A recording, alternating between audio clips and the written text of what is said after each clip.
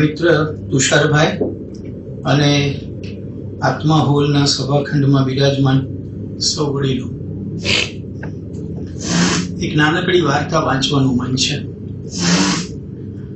એટલા માટે કે તુષારભાઈએ જે મધમીઠી ભાષામાં આપણી સાથે વાત કરી એ મધમીઠી ભાષા આપણા સંતાનો સુધી પહોંચે તો કેમ પહોંચે? ગુલાબી ઠંડી હતી. પવન ધીમે ધીમે વાતો હતો. કુકડો કુકડે કૂક કરતો હતો. તે વખતે કેટલાક વાદળો વાદળાને આકાશમાં ફરવા નીકળવાનું મન થયું. એક નાનું વાદળું બોલ્યું, આ રાત અહીંથી જાય તો અંધાર મોટે. આપણે સારા સારા કપડાં પહેરી ફરવા જઈએ ને ગમત કરીએ. એક મોટા વાદળાએ દીવો સળગાવ્યો. બધા વાદળાએ કપડાં પહેરવા માંડ્યા. રાતા, પીળા, ગુલાબી, જાંબલી, એમ રંગબેરંગી કપડાં પહેરીને વાદળા ફરવા નીકળ્યા. નીચેથી લોકો કહેવા લાગ્યા કે સૂર્યોદય થાય છે. દીવાની જોત મોટી થઈ એટલે કેટલાક વાદળા પીળા ને ફિક્કા થઈ જવા લાગ્યા. એમણે પેલા મોટા વાદળાને આ વિશે ફરિયાદ કરી. મોટા વાદળાએ કહ્યું, બધા વાદળા ભેગા થઈ જાઓ.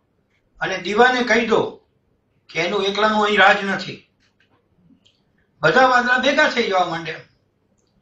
ઘણા વાદળા ભેગા થઈને એક મોટા પહાડ જેવા કાળા વાદળાની પાછળ જઈને બેઠા. નીચેથી લોકો કહેવા લાગ્યા આકાશ ઘેરાવા લાગ્યું છે. પણ દીવાનું તેજ પૂરું ઢંકાયું નહીં. પેલા મોટા વાદળાએ પવનને મદદે બોલાવ્યો. પવને તો એ જ ગમતું. એણે એનું કામ શરૂ કરી દીધું.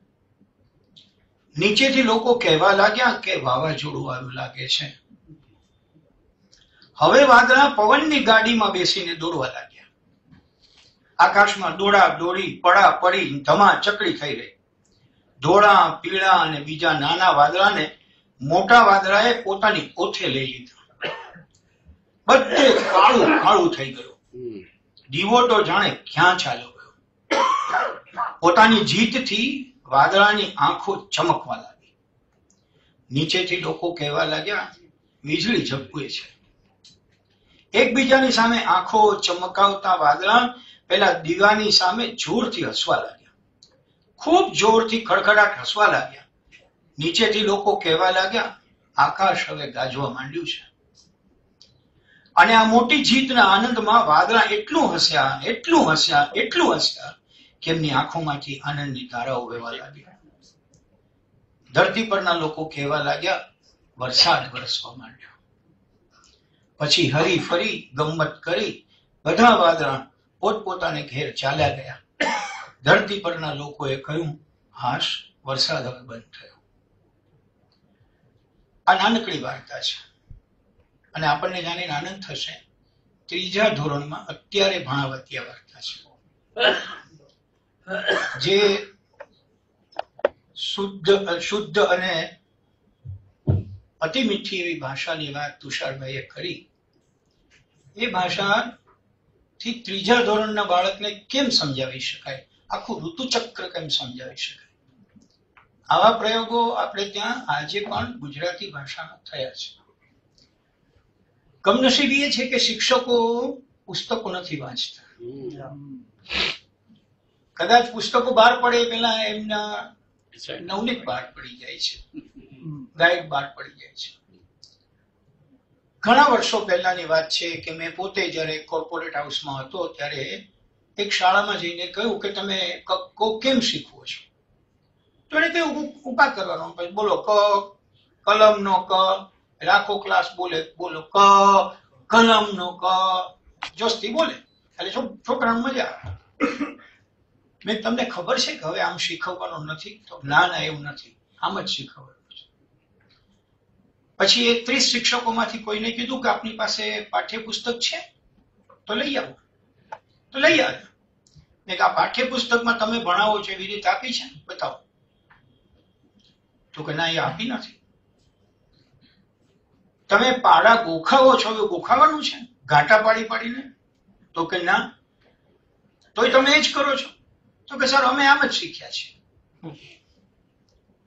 આ સારી વાત એટલા માટે છે કે એટલીસ્ટ એ લોકો કંઈક સારું શીખ્યા હતા, એટલે એ રીતે ભણાવતા હતા.